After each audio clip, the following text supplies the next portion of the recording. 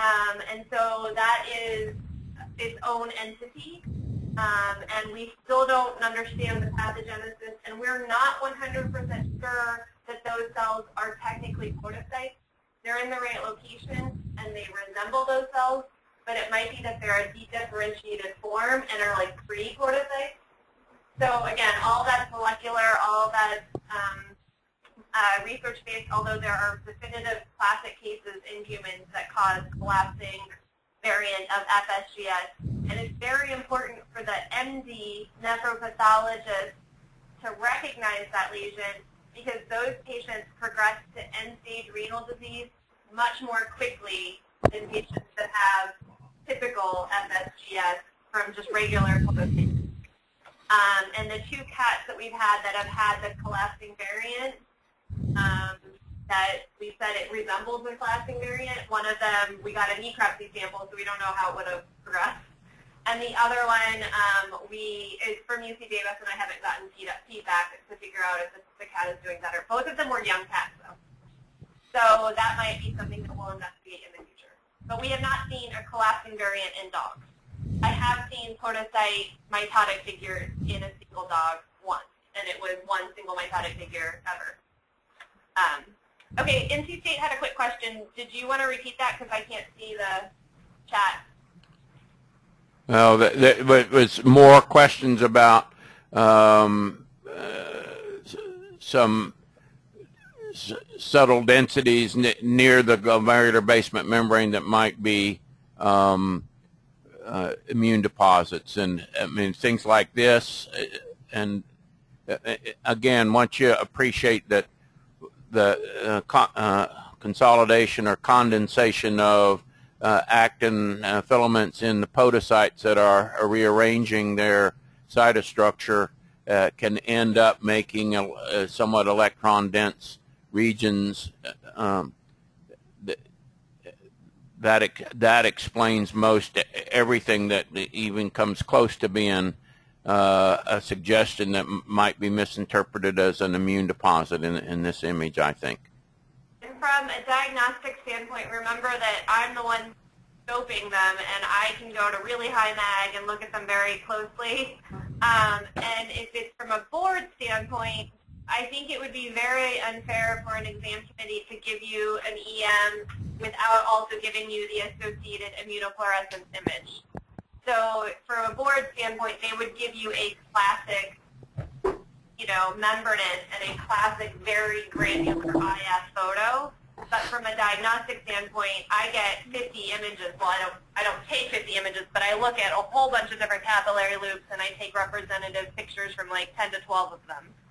So um, from a diagnostic standpoint, I can go and make sure and verify that there's no that those are actin filament condensation versus immune deposits. Um, so you know, uh, don't get too worried about this kind of thing and figuring this out on boards because it, it wouldn't be a, a fair question on boards if they didn't give you an IF. Um, and plus, it would mean that now you have to interpret multiple things, and that's why boards would like it. So. Um, okay, so I think we can go to the PowerPoint unless there's any other questions about this panel. NC State, did we answer your question? I don't know if you can type. I don't know if I can see the chat. Thank you, NC State. Okay, so um, this dog, I gave you a hint to Google, um, and that's just because I knew that our residents had seen this material before, so I didn't want other residents to be at a disadvantage. Um, this case was um, a case, uh, oh, sorry, uh, uh, putting all this together with the global foot process effacement um, and with the very minimal changes via light microscopy, this case falls into the category of minimal change disease. Um, and so uh, this particular dog was on um, uh, therapy for uh, metastatic mast cell tumors she was on a tyrosine kinase inhibitor, um, and she'd been on it for about five weeks.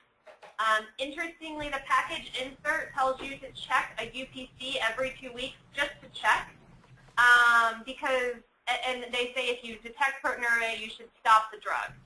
So the dog had normal baseline, had a normal two-week evaluation, I think, or something like that. She had a normal UPC after being on the drug for a bit.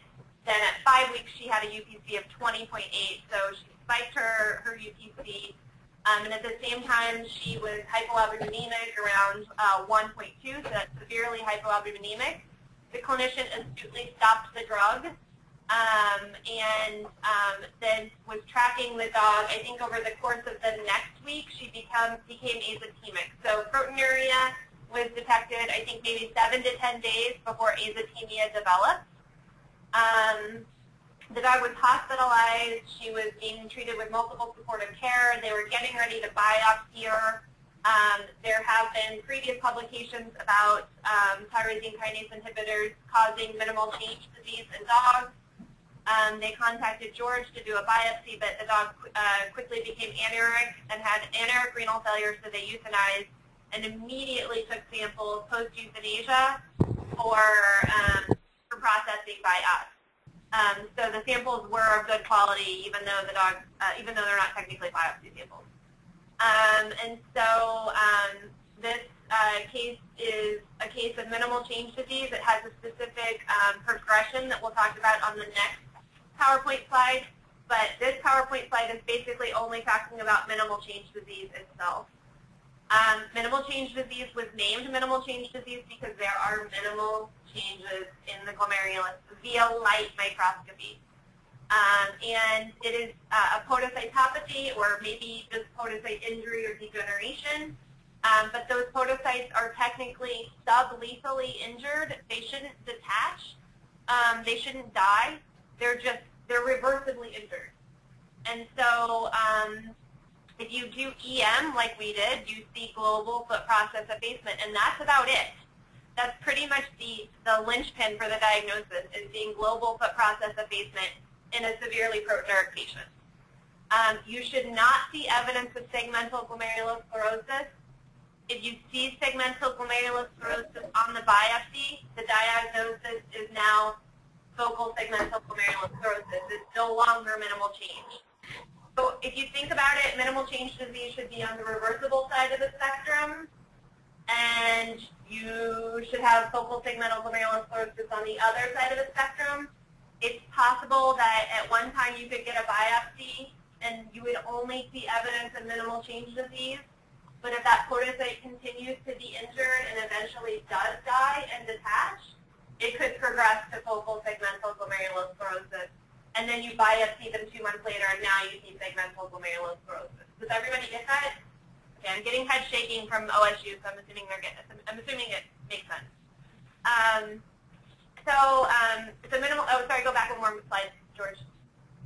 Um, uh, so in humans, um, they either, if, if, the, if, they have evidence that the podocyte has been injured by an exogenous stimulus, maybe drug exposure or something like that, the first line of treatment is to get rid of the offending agent. Um, and then in humans, they often give steroids. Um, and that's an issue that I just want to mention. In humans, we give steroids for a lot of glomerular diseases. Um, we tend um, not to suggest steroids in dogs because dogs are so incredibly sensitive to steroids and become um, um, or have symptomology of Cushing's disease. Um, in humans, they do have a lot of uh, anecdotal and um, uh, folklore that steroids are protective for the podocyte, and so it might help the podocyte heal. We don't really have that type of um, background data in dogs. So a lot of times when you Google this disease and you look at all the human literature, you would think, oh, we'll just do what they do in human diseases, but we really don't believe in that same kind of philosophy of steroids being cytoprotective or podocyte protective. It might be, we just don't have enough data. Okay, next slide, George, sorry. Um, so minimal change disease as a syndrome is the most common cause of proteinuria in children. It's usually young boys. They're maybe like four to five years old, and they become severely proteinuric. They don't really biopsy these dogs, sorry, these children. they don't biopsy these children. They usually start a course of corticosteroids, and the child resolves, the proteinuria resolves. Um, and that's part of the background data of why we use steroids in humans for this disease process because they just did it back in the 60s and the 70s and they're like, hey, it works. We're not really sure why it works. It's probably protective of the podocyte. It is a very, it's an infrequent cause of proteinuria in adult humans. Um, there are many other that would be on your differential list if you had a proteinuric adult, but it does happen. It's extremely rare in small animals. Um, we it's less than 10 cases in our biopsy service, and we have more than a thousand biopsies in our service. Um, in humans, it's um, usually associated with recent medication use. This is adult humans. That last bullet point should say adult humans. So NSAID therapy is associated with minimal change disease. Again, the theory being somehow the NSAIDs have injured the podocyte. And in that species, the published um, literature are TKI inhibitors or tyrosine kinase inhibitors. Sorry, that should be TKIs, not TKI inhibitors. Apologize. But anyway, so uh, tyrosine kinase inhibitors. Um, we have also seen one case on our service that we at least uh, uh, linked to D-penicillamine use in a dog that was being treated for copper storage hepatopathy. So, um, uh, so we there are probably other drugs that can um, insult the podocyte in veterinary. Um, and we've had one cat recently that we could not find an offending drug at all. After multiple questions from the owner, they had no evidence of toxicity or drug exposure in one single cat. So that might have been spontaneous. Of course, the cat didn't uh, answer the question, so what exactly happened to the cat is unknown. True. Okay, um, and so now this particular case is those tubular um, vacuolation on the big protein cat. Um, and, and with the progression of disease that we saw in this particular patient, it was minimal change disease that, that was associated with um, uh, acute renal failure so in humans, there is a minimal change disease with acute renal failure syndrome. So basically just add two different syndromes together and have an even longer disease name. And um, it's a well so acute renal failure is a well-recognized sequela of, um, of minimal change disease in adult humans. Kids rarely become azotemic when they have minimal change disease. So adult humans with minimal change disease can have um, a late onset of acute renal failure, um, and usually they'll be proteinuric for a couple weeks, just like this dog was, and then progress to becoming azotemic. Um, there is a lot. There are a lot of theories of how this would happen. Um, nothing has been um, completely um, identified as being the source of the acute renal failure in a subset of these patients. Um, and so some of them think it's um, related with the therapy of using the diuretics in these severely um, proteinuric patients. Some of it thinks the, some of them think it's the proteinuria itself, that very heavy load of protein going through the tubules and an abrupt onset might injure the tubules themselves. There is a recognition, recognition that endothelin-1 um, variants um, are associated with this progression to acute renal failure. Um, so there's a lot of random molecular theories, none of which have been associated, or none of which have been identified as, as being the only pathogenesis. Um, but the syndrome is that you have acute onset of proteinuria and then you progress to azotemia. Um, and you see acute tubular epithelial injury. And like George said, some of that vacuolation um, could have been associated with the treatments that this particular dog was doing for supportive care. Um, I think they gave the dog mannitol, and we often see vacuolation with mannitol therapy. Um, but this was really extensive throughout the course of the slide, and there was a lot of very um, dilated tubules and even those singly necrotic apoptotic cells. This was more expensive than what we see with just regular mannitol therapy in this in this particular um, case. Um, and the reason this is important is that um, human patients with this combo of minimal change disease and acute renal failure have a worse prognosis than if they presented with minimal change disease alone. Um, they usually require dialysis and it takes longer for them to recover. Um, so uh, it, it's one of those things, I think diagnostically, if you're looking at a biopsy from a patient and you see severe um, uh, tubular injury and the patient is severely proteinuric, look at the glomeruli. If you can't find any disease in the glomeruli, then say, you know, there are syndromes where you can have minimal changes in the glomeruli resulting in severe proteinuria, and that will progress to acute renal failure. Um, we would need EM for all of this. So that's why I like my job, because I can suggest doing EM, and then they do it. So Um, okay, so moving on because I'm kind of rambling at this point. Let's move to case two. Sorry, George. Um, and Jeremy, you ready to take this one? Sure.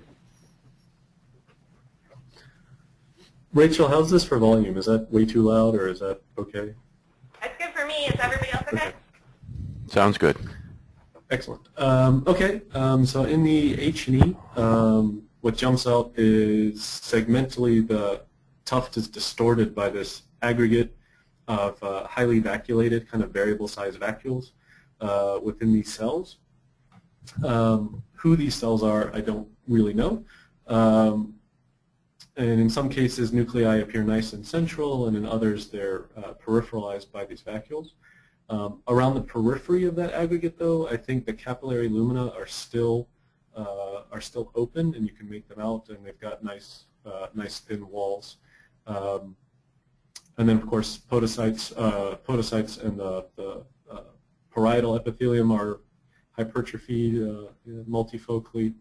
Um, and then at the uh, kind of 12 o'clock position, there's some expansion kind of between the between the parietal epithelium and Bowman's capsule. There's sort of a, a zone of increased matrix um, that I'm not sure. I suppose we'll talk about that a little bit, but um, I think that was it for for the H and E.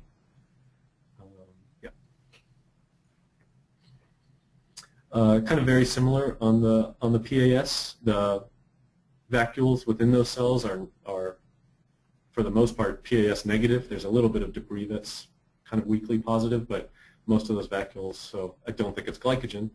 Um, and then you can make out again in that weird, uh, unusual zone at, at 12 o'clock that there's a little bit. It looks like a kind of basement membrane, almost uh, positive strands between the uh, epithelium and uh, uh, Bowman's capsule. Okay. Um, and then trichrome, uh, kind of similar, kind of uh, the vacuoles, there's no contents really staining up very well. There's a little bit of a collagenous, perhaps, uh, matrix surrounding those cells within that aggregate.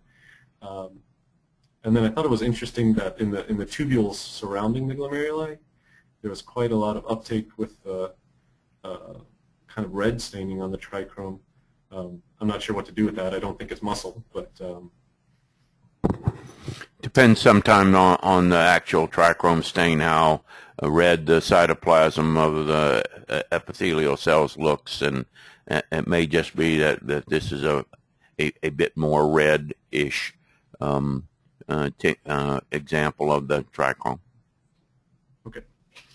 Um, and then in the silver, it's kind of interesting that the, the cells do, um, the cellular contents in that aggregate uh, do pick up some of the silver stain. Um, kind of, it's kind of a heterogeneous sort of granular uh, staining to it, and then some of the some of the vacuolated areas might actually that are that are not picking up any stain may actually be the, the capillary lumina perhaps that are entrapped within this area. Um, I don't know what you thought or if they're or if they're cells that simply the contents are not staining, but um, I was curious how you would uh, interpret that. Um, some of them look like just holes uh, in, uh, in, in as opposed to now this looks like it, it might pass for a capillary lumen entrapped in this, but I have a harder time with that one uh, or that one or you know a couple of these, but but on a individual one after another basis, you you get into some ifs, ands, and maybes that you can't really tell. I yeah. think. Um, but otherwise, uh, smooth, regular contour. uh, so I mean, one feature of this is that uh, the this lobule that's uh, you know clearly uh, advanced, uh, affected in an advanced way is uh, adjacent in the same glomerulus to, lo- for instance, this lobule, which you know, by itself um, pretty much passes for normal in all of the the images that we've looked at. So, okay. Great. Uh, the EM. Um, so there are, I can make out a couple capillary lumina. The one has um, two uh, erythrocytes in it. Um, around those, there are uh, as we've noted before, some some uh, some fusion and uh, uh, kind of loss of podocytes. Um, I thought all the way to the left they were a little closer to normal, but um, You mean in here? they're starting. Yeah, but um, I think they're. Well, you get you get a sense that they once once were separated, but they're not Right. they're not normal, uh, of course. But Um, and then down at the, yeah, kind of that area, the bottom 30% of the image, um, we kind of have some cells where I can't quite make out cell borders, but the, the cytoplasm seems to contain some heterogeneous uh, content. You've got a couple maybe membrane-bound uh, uh, vesicles or, or uh, lysosome-like structures perhaps, um, and then some have heterogeneous content, uh, some very electron-dense material, and then others are kind of a little more homogeneous. But um, again, I wasn't sure. I suppose this is what was picking up some of that uh, silver stain is this heterogeneous content. But um, yeah, uh, I think that's all I had about that.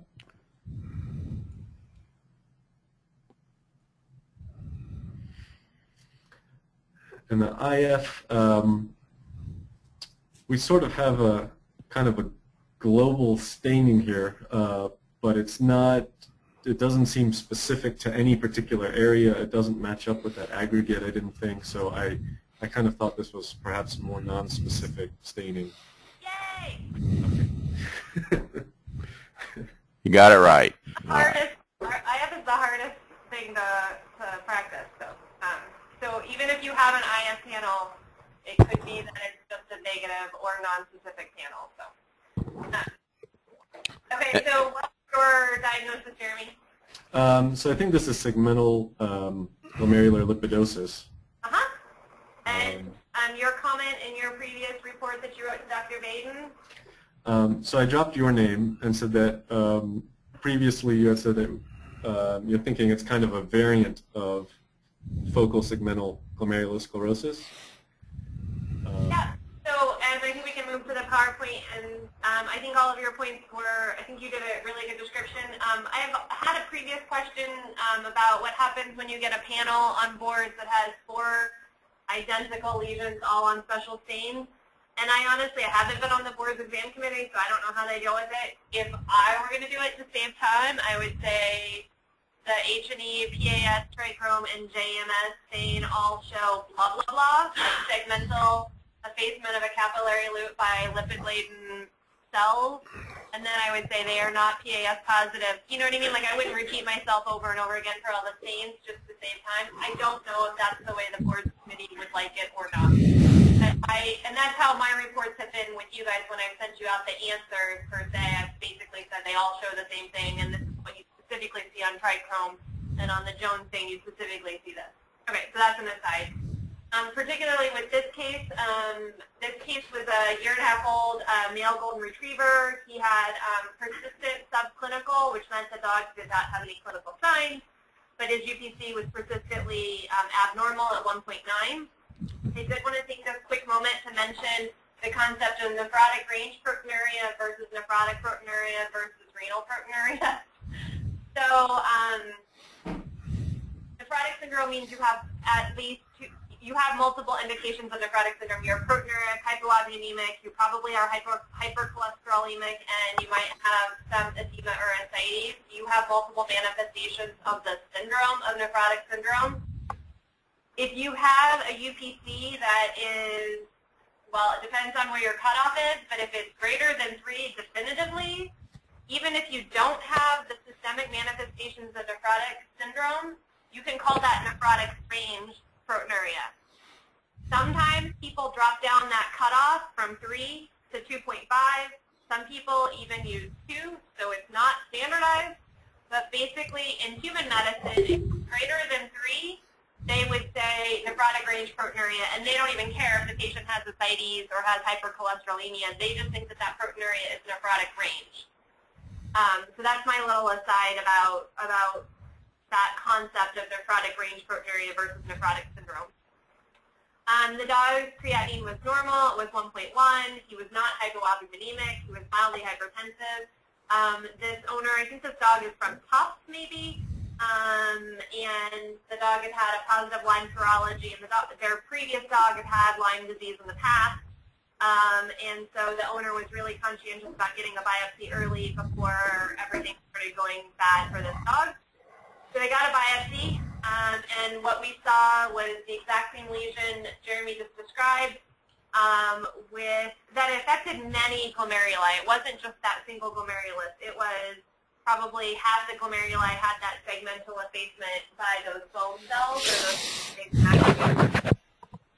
um, so this diagnosis of lipid glomerulopathy or glomerular lipidosis, both of those are used synonymously. Um, and um, it is a segmental lesion. That's one of the keys. It's segmental.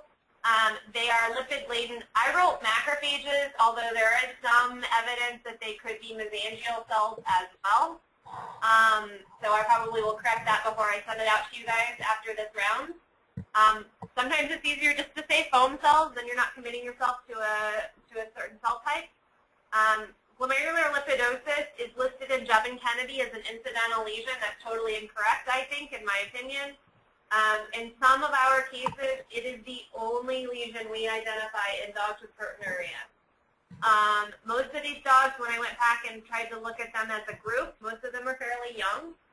Um, and I don't know if those lipid-laden macrophages are causing the disease or if the disease is somewhere else in the glomerulus and those lipid-laden cells are coming in to clean up the debris. I don't know. I don't know the, yes, uh, sorry, we have a question here from OSU. So uh, I, I assume that the, the statement incidental lesion comes from cases that that had no or no green item, you know, had Well, so if you look at the actual, if you look at the actual paperwork or the original papers for, they called it incidental, it's because these dogs weren't azotemic, and they never reported a UPC.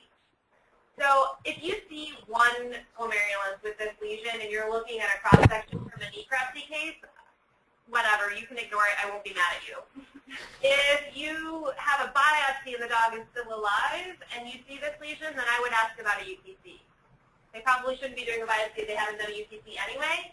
But um, but to me, um, the reason that it was considered incidental is because they were using azotemia as their disease state, and they weren't looking at UPCs in these dogs. These papers are from like the 70s and 80s.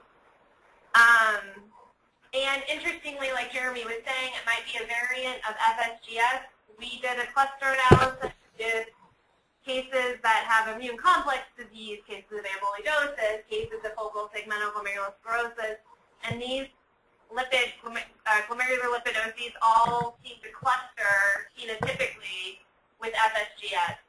And in fact, it actually closely represents this variant of FSGS in humans, which is called the cellular variant of FSGS. And I think the next slide has a picture of a case in humans.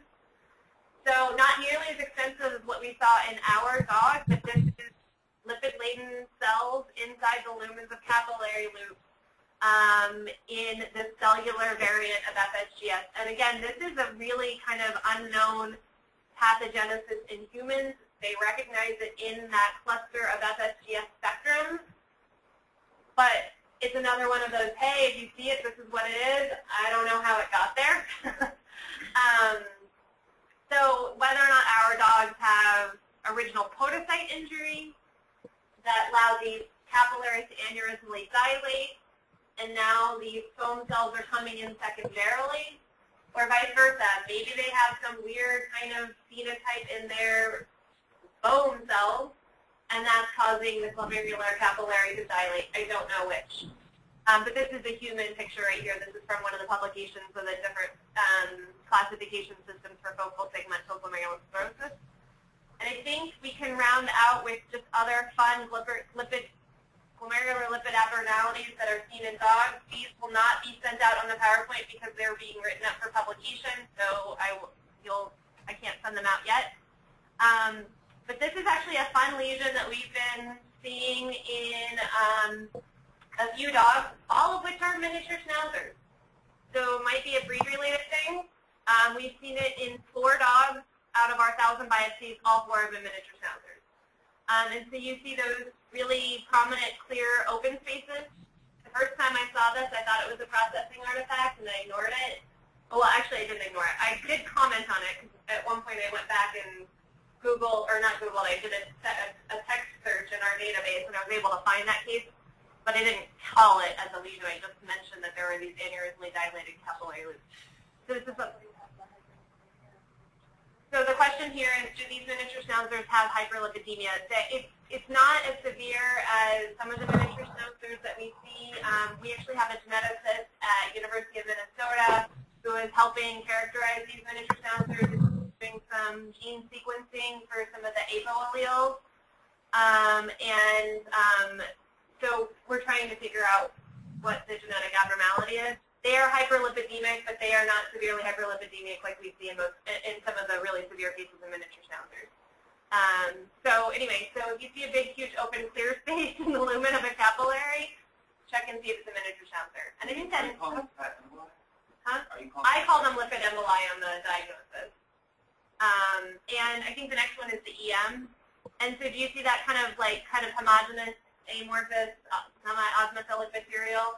Um, this actually, this particular lipid embolus lesion looks somewhat similar to, now I'm forgetting the name, um, lipoprotein glomerulopathy in humans, uh, which is a genetic disease in humans. I think it, um, it so our lesions are are similar, although the EM appearance in our dogs is a little bit different. In humans, it's a little denser, a little more electron dense than what we're seeing here in this particular image. Um, so um, hopefully we'll have more information about this disease in the future. And I think I have one more uh, set of pictures. So um, seeing cholesterol clefts um, in glomerular tufts should be very concerning. We've only seen it in one dog um, from our biopsy system. In humans, this is pathognomonic for atheroembolic disease. So if you have a coronary cath procedure and you go into renal failure a couple weeks later, and they do a biopsy, I'm on the hunt looking for these cholesterol clefts. And it's, even if I just see one, I have a diagnosis of atheroembolic disease.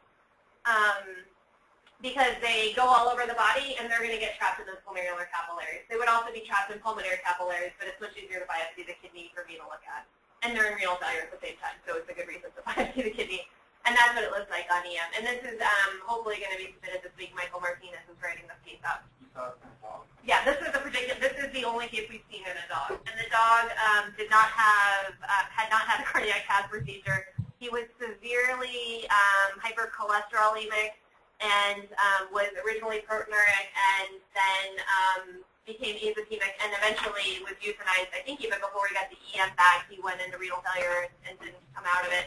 Um, was not diabetic. Um, and he was one of the, he was a uh, Sheltie, or yeah, Shetland sheepdog, so we weren't sure about thyroid status. Um, cool. Did the dog have coronary arthrosis? They didn't do a post, so we don't know. I mean, we're doing it a path in practice, so they didn't do a post. Okay, but you assume that, it, that this probably isn't coronary artery origin, right? I mean, based on how atherosclerosis is. So, so there is, if you look at the actual biopsy, there is, there are um, internal, or sorry, um, interlobular vessels that have more cholesterol emboli in them, or not cholesterol emboli, like atherosclerotic plaques in them. So even the renal vessels in one section of the biopsy. Medium. Huh? Medium. No, it was no. It's it's a it's not typical for dogs. It's yeah, it's subintimal. Um, and I mean it's it's there. So it's interesting case, but. Um, so yeah, so that's another. So don't you shouldn't have cholesterol clefts in your glomeruli. That is bad. Um, anybody else have questions? Rachel, so if you find, um, you know, obviously if they're biopsying the kidney because it's a proteinuria and you find focal segmental sclerosis or you find a, a, a segmental lipidosis, you've got an answer for them. They're already treating the dog. You know, they just need to adjust what they're doing where they're sort of aware that there's already a glomerular problem.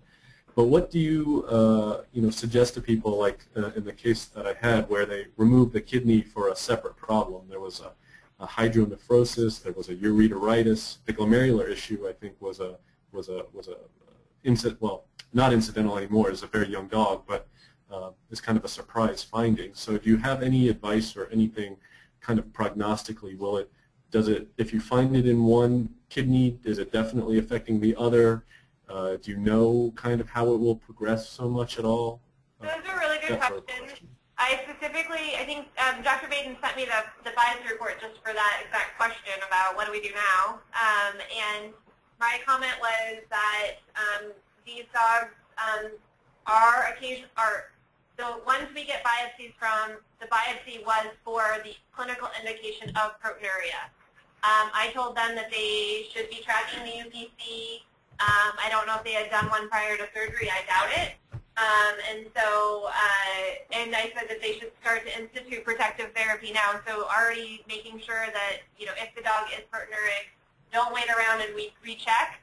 Um, I don't know how well our standard therapies could intervene in this process um, as opposed to what it would be in a normal FSGS case. I don't know. Um, but those are all those kinds of follow-up questions that we hope to answer with our service by being able to track the progression of those cases. But I, you know, I wouldn't, I couldn't immunosuppress for any of these. Like you wouldn't immunosuppress for either of these two diseases we presented today. Um, you would just be doing, you know, optimizing your, your standard therapy of, you know, ACE inhibition, controlling blood pressure, and maybe a low protein diet. So it's a lot of wait and see. Does that help you? Yep, thanks. Okay, a couple things. One, the, the focal segmental glomerular sclerosis um, entity is really a pattern of injury within which, starting in people, there are lots of different uh, subtypes and, and, it's not a single disease but a pattern of injury in which there are a variety of different diseases. In veterinary medicine, particularly dogs with proteinuria, th this pattern of injury turns out to, to crop up uh, pretty frequently.